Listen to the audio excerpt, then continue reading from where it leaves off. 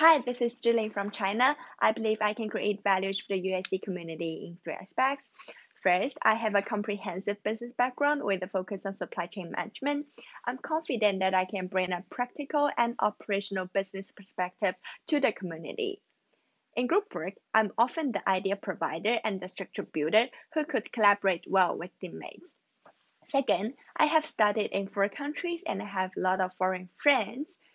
In USC, I would actively organize or participate in group activities to facilitate the communication between members. Third, I'm good at observing needs and making differences accordingly. In my home university, I set up a makeup club to satisfy students' needs in different scenarios, and I also help to build a better community in USC when I notice the needs. Thank you for your consideration.